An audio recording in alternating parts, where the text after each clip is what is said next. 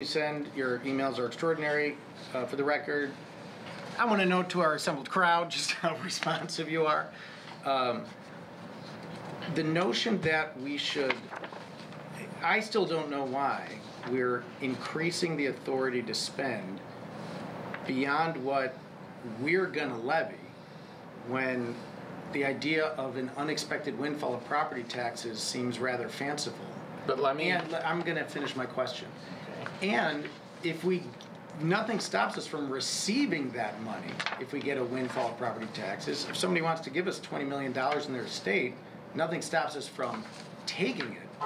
The only thing that this would allow us to do is to spend it in addition to the budget that, uh, you know, we, we passed last month. So I appreciate that ten percent is less than forty percent, which is less than fifty percent, but to me, I think if our budget is what it is last month, then our budget ordinance ought to be what we intend to spend. And if we get more money, we can figure out if we want to spend it next year, or if we want to reduce taxes, or send the money back to taxpayers, or whatever we want to do. This does not say that we're gonna spend I that. Understand it's an authorization. I, I a hundred percent understand. This is an authorization to spend. I totally get that. I don't know why we would authorize staff to spend more than what we budgeted. let me try to answer that. Thank you. We had several years ago, it was not a tax windfall. We received a bequest for nearly three hundred thousand dollars. Some legal opinions are that if you haven't authorized it, you can't receive it. Now, that's a matter for the attorneys to debate. But since we had authorized it, we had no difficulty receiving it.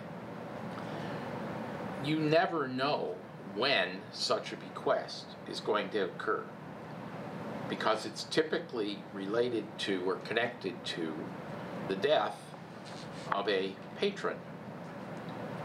In that particular case, the money was received with the express intent that it focus on one program that we develop armchair travelers.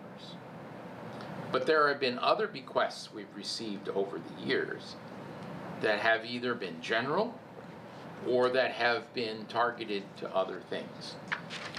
What the authorization does is allows us to handle that in whatever is the best and most appropriate way for us to use those monies, invest those monies, you know, put them to work in whatever way is beneficial to the library. But we couldn't have anticipated that those monies would be available to us prior, at the time that we passed the budget. Because you don't receive advance notice of the possibility of a bequest. That information isn't disclosed until after the person dies. I get all that. I, let me just clarify. Can I just add one more thing? Please, Of course. And historically, just in terms of what's happened with the board, and maybe this is where there's a misunderstanding that you're having, the appropriation that we're talking about now, all it's doing is, is giving us the room to possibly spend money if it's there, which as Ron said, may be there, may not be there, but it's not, it's, the staff can't go ahead and spend money without coming to the board and, and asking for our permission to do so. So it's not like, it's not like all of a sudden there's, there's another hundred thousand dollars that, that, and then and someone's gonna go ahead and spend it. They can't, that- by, by rules that are in place, by policy that's in place, that cannot happen. Cause we've already passed the budget. And we already The have. budget lim- was And there's also limits on what, what anybody at the library can expend without getting an approval from the board. So, two questions, so thank you. First was, uh, I didn't hear anything that, anything prohibits us from receiving any amount of money. I, I don't recall hearing that from the attorney. Is that your opinion, Anthony, that we need, that there's anything we need to do to accept any amount of bequest that falls on our lap? There could be contingencies attached to a donation. That's, If that's, it must be spent this fiscal year. Right. Aside from that, is there any restriction on us taking a big bequest and spending it later? I, I, I guess, you know, it would depend upon what the terms of that bequest were. Right, so that, it seems super unlikely.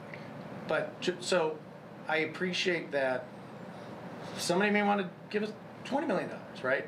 And we are not in a position to accept that right now. because we don't have a twenty million dollar, all right, we're not, we're not anticipating doing that.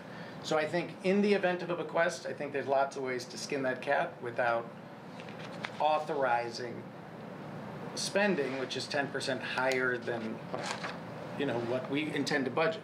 To your point, Stuart, I appreciate that it doesn't allow staff to go nilly-willy, and every month they've got to ask the board for permission to approve of the bills and salaries. But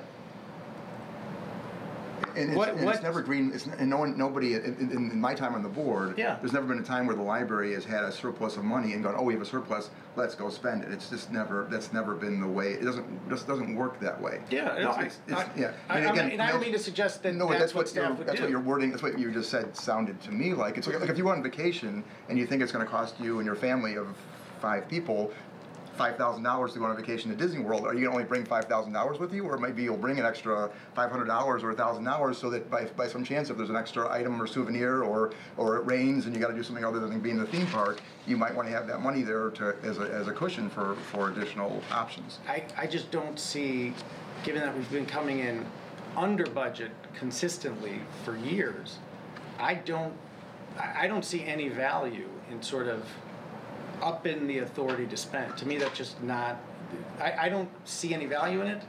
Um, and it, to me, I like that we're separating the two, because there's certainly more clarity that way, and I appreciate that.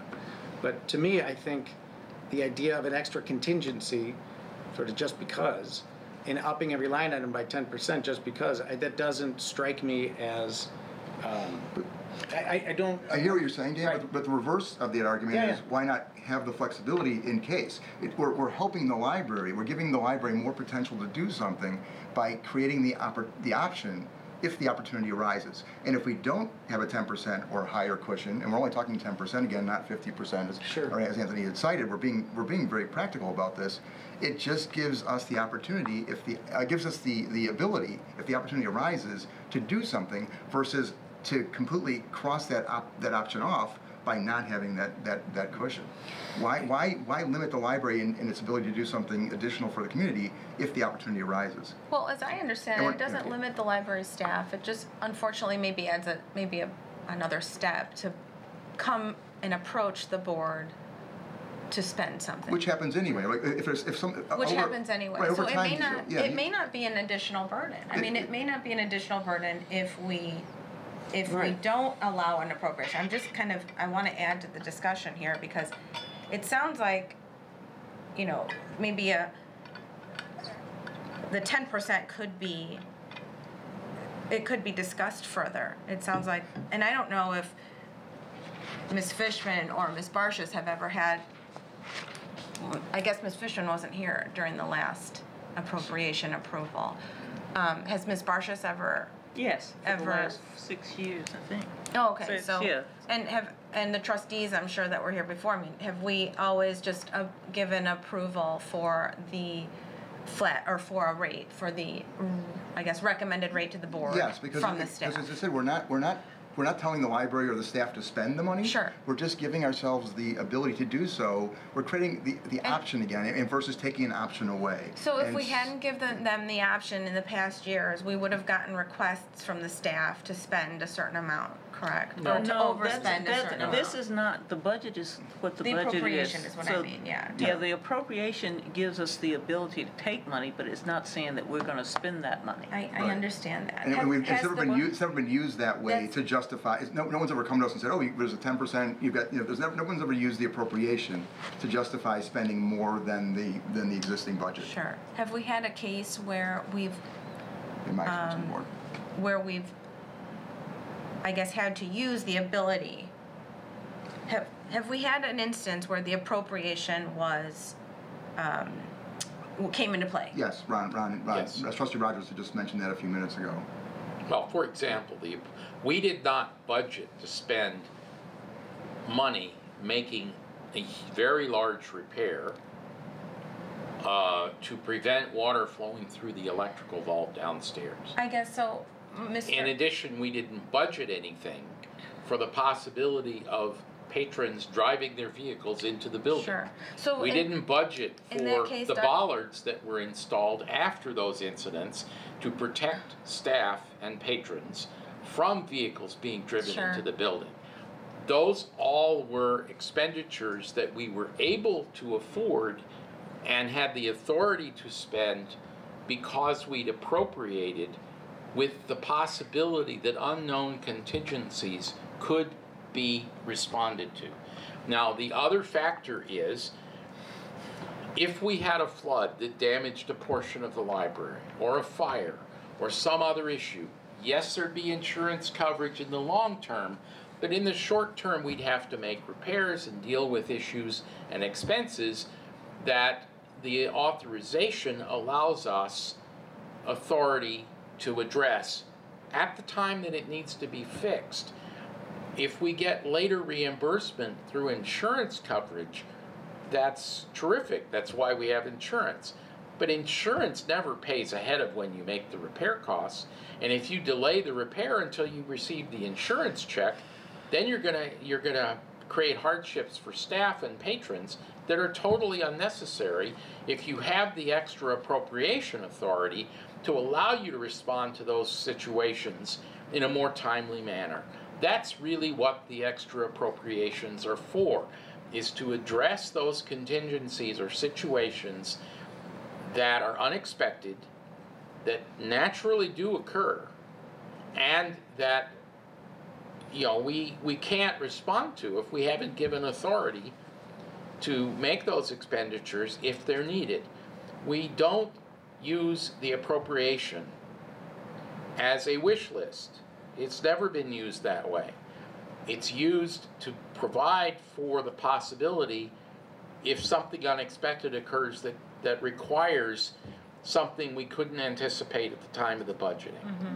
Over the last several years, you know, storms have gotten more intensified in the area. This is a perfect example. And let's say there was some kind of damage done to the library, and there was some kind of library programming going on, and we couldn't do it at the library, but we could go rent a space nearby, whether it was a business or someplace else.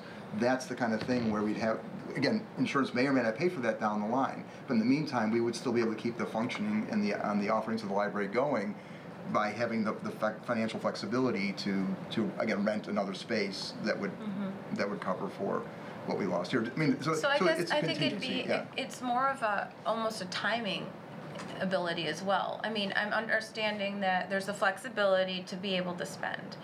And it's more of a timing than to spend that, because otherwise, it do you mean by sounds like, timing? Well, the staff would have to, if we don't approve this and then we have some type of contingent event and uh, an expense, um, and we, let's say that it exceeds this ten percent, and let's say, let's say we don't approve this ten percent, or we don't, I guess, go ahead, it exceeds it, then we'd have to have some type of special meeting to approve some type of contingency expense and where it would come from, whether it be our liquid CDs, whether it be our endowment, or sorry, general fund, we'd have to have a special meeting, and that would take time, is what I'm understanding. right. right So those extra steps would take time.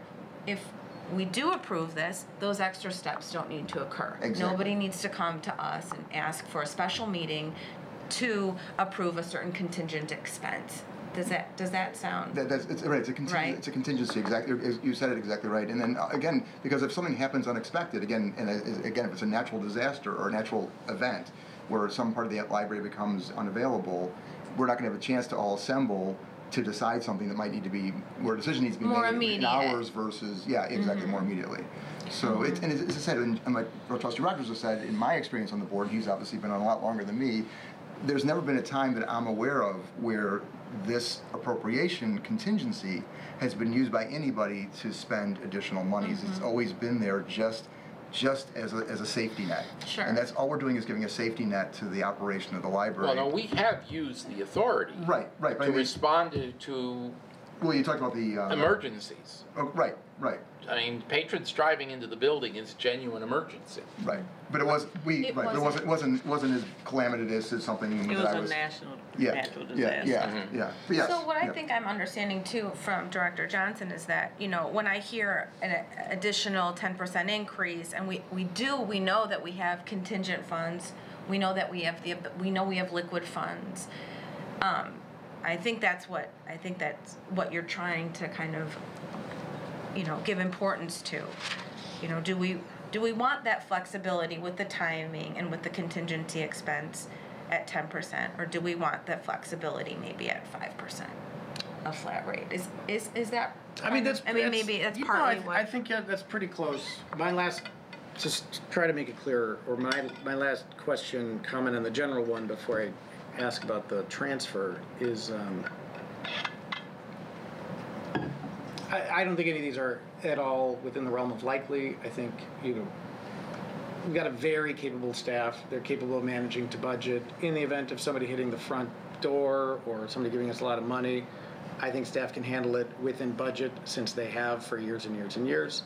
But if there's a desire to have a general authorization, essentially line of credit, in the event something really bad happens and you need to spend $200,000, why don't we just have that contingency general fund of $400,000 to spend as you see fit and not up every line item by 10%? what's- So there's extra clarity and transparency. So as we're publishing this and we're not publishing our working budget, we're very clear, this is what we actually intend to spend. Well, Because we don't intend to spend. But our working budget is published. And- and I'm It's all up on the website. There is total transparency, so I don't, it's plus or minus ten percent, all this is on the website.